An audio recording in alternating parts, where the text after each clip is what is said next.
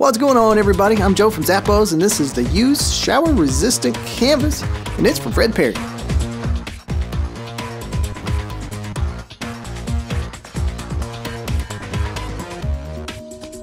Now look out, these sneakers are coming in hot. They're available in a few different colors to choose from, made out of a soft canvas material. You've got the textured toe cap up front and a textured heel cap back here in the back. And this little ribbed midsole just really pulls the whole look together. Now the soft canvas here on the upper is really nice. It's got some stitch detail. You can see the logo that's been embroidered right there as well. Got two little D-rings at the top, so you can use those to style accordingly. And on the interior, if you're wondering if it was comfortable, just look how thick that insole is. Really nice arch support, just really nice lightweight cushioning.